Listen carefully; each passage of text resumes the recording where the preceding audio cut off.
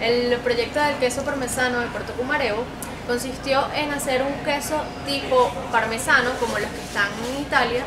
que sea grande, por lo menos de 30 kilos, y este, lo, hemos venido haciendo exclusivamente para restaurantes, donde el, queso que pudieron ver acá al lado eh, pesa aproximadamente 15 kilos y tuvo primero, los primeros ensayos tuvieron una maduración de 24 meses. Luego que la afinadora acá este, trabajó con ellos, hicimos acá una degustación donde comparamos el de 12 meses de maduración con el de 24 meses, supimos que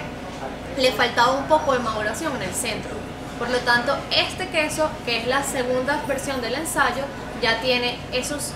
dos meses y medio extra de maduración y es el resultado que vemos hoy, que pues tiene una maduración más uniforme, los comensales pues eh, han tenido mucho mejor, eh, ¿cómo se llama? feedback con nosotros. Entonces es interesante ver cómo el trabajo de Susan y como afinadora de queso este, pues, da frutos de esta gama donde nuestro queso parmesano no tiene nada que envidiarle a un italiano rellano, por decirlo de alguna manera.